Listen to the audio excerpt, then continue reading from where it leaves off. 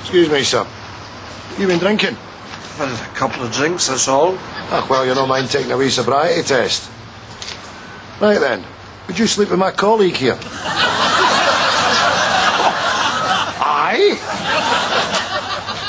Cough him.